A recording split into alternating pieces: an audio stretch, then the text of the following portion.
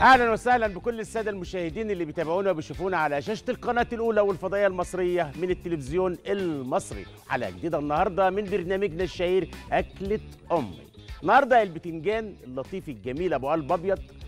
يعني هو قيمته الغذائيه عالية جدا وما نستغناش عنه. بنعمله مسقعة بنعمله مقلي بيكون فواتح شهية بنعمله مقبلات. النهارده هنعمله بفتيك مع لحمة. هندلعه النهارده ونبدأ إن إحنا نطوره ونحط معاه لحمة مفرومة ونعمله مع بقسماط وبيض حاجة لطيفة وجميلة ويبقى لطيف و crisp كده. هنشوف نعمله إزاي والفكرة دي جاية منين؟ جاية من إن إحنا بنجدد من المطبخ بتاعنا وبنطور منه وبنقدمه بأفكار جديدة. معانا طبق مكرونة النهارده بال pesto sauce. ال pesto sauce ده مصطلح أو ده نوع من أنواع الصوصات من المطبخ الطلياني بيتعمل مع الريحان مع اللوز أو عين الجمل النوع المكسرات اللي أنت حباها ممكن تعمليه بفول سوداني ولكن الأساسي فيه ريحان أخضر. ده لازم يكون موجود معاه مع زيت زيتون والثوم اختياري. هنشوف نعمله مع بعض إزاي والمكرونة دي أنا بعشقها وخاصة لو قدمنا معاها شوية جبنة برمجان أو جبنة موزاريلا حسب الرغبة. أما النهارده معانا الكب كيك بأفكار بسيطة وسهلة وإزاي ننمي أطفالنا ونجدد الذاكرة عندهم ونقويها إن إحنا نضيف بعض أنواع المكسرات في الكب كيك اللي هم بيحبوه سواء بالشوكولاتة سواء بالفانيليا. فهنعمله باللوز النهارده المطحون الناعم ونشوف نعمله إزاي بأفكار بسيطة وسهلة لأن إحنا أولادنا وأطفالنا لازم نهتم بيهم لأن مستقبلنا فيهم. فلازم إن إحنا طبعا نهتم بالمأكولات بتاعتهم وبتغذيتهم ودي حاجة مهمة جدا. المكرونة الاسباجيتي معانا؟ زي ما هي كده. مع عود ريحان حلو. باخدها في مية بتغلي. آه ناسي. حط شوية زيت. شوية ملح. سلق المكرونة. ملح مية مغلية زيت. هو ده. ونسيبها. نعم. هتفرج على هي بقى اديني دقايق ومش هتشوفها. دقايق معدودة. هتختفي. ده ريحان. حطه مع ال- ال- المية اللي بتغلي علشان تبقى المكرونة ريحتها ريحان. لأن البطل في الأكلة دي طعم الريحان. لأن صلصة البيستو الأساسي فيها ريحان أخضر. ريحان أخضر في قلب الكبة.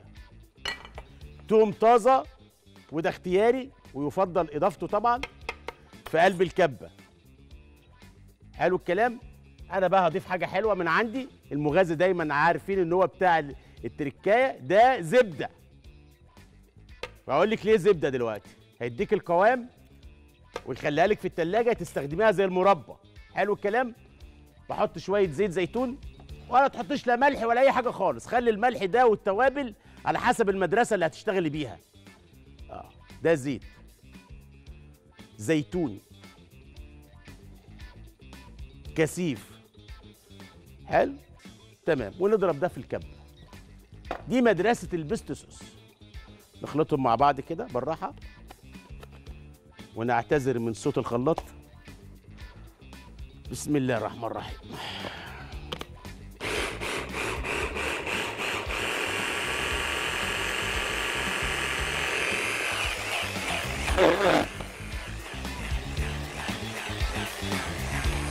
خلص الكلام.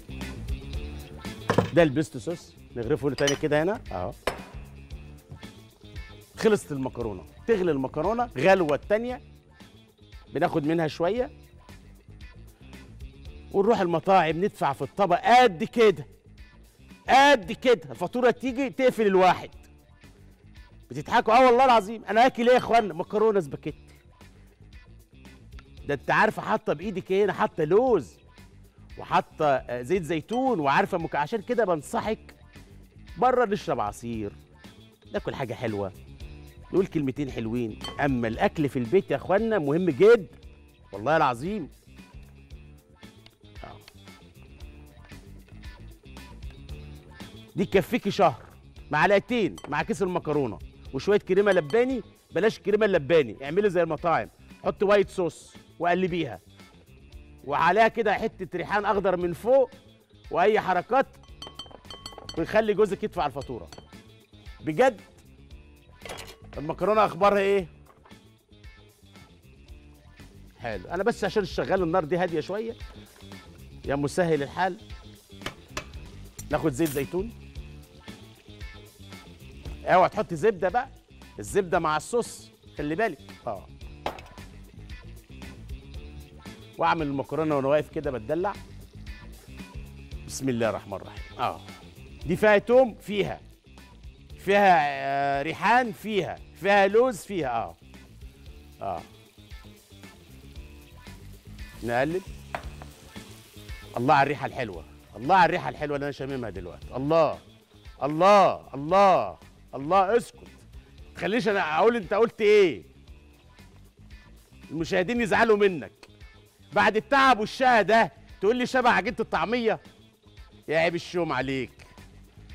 حلو. ننزل بالكريمة اللباني. دي كريمة مش شوية صوص. يعني انت عاملاها على أصولها. اهي. خلصت المكرونة. تبليها. ملح وفلفل. اوعى تحط كمون ابوس إيدك. آه. ولا كزبرة. بس خلاص. نقلب الخلطة دي. وأنا واقف جنب الاسكالوب بيتحمر. الحلو عملته. تستنيش عليها لما تغلي. أخبار المكرونة إيه؟ بسم الله الرحمن الرحيم. يا حلاوة. آه. آه. شفت المكرونة؟ بالله عليك اعمليها لاولادك وانت وهم بياكلوا كده قولوا لهم حبايبي فلذة كبدي جوزي يا حبيبي. ده ولا اللي أنت أكلته بره؟ هيقول لك طبعا ده.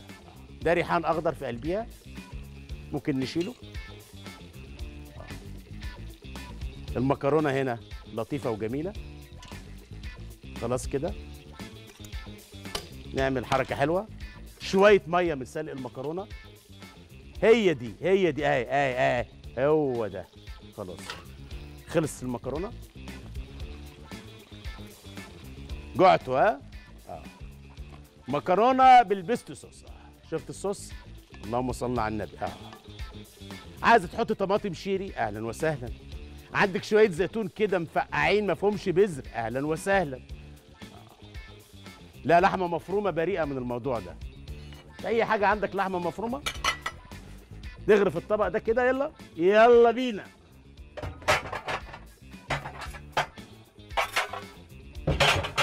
طماطم شيري يعني الطماطم الصغيرة. يلا بينا. آه. مكرونة جاهزة. اللهم صل على النبي. إيه الحلاوة دي يا عم الشيخ؟ إيه الجمال ده؟ ده أنا بدفع في دولت يعني عشان نقدمهم كده خمس ست أطباق. في 250 الطبق الطبق ده يعمل 750 جنيه. آه. ألف هنا وشفا. مطبخنا النهارده تفاصيله بسيطة سهلة مش مكلف نفس التكلفة اللي أنت بتعملي بيها أي أكل. عملنا البتنجان إسكالوب عملناه بفتيك عملنا الكب كيك باللوز لأطفالنا الحلوين. عملنا طبق مكرونة بيتكلم مصري بال pesto sauce. الكلام ده منين يا عم الشيف؟ من ماسبيرو.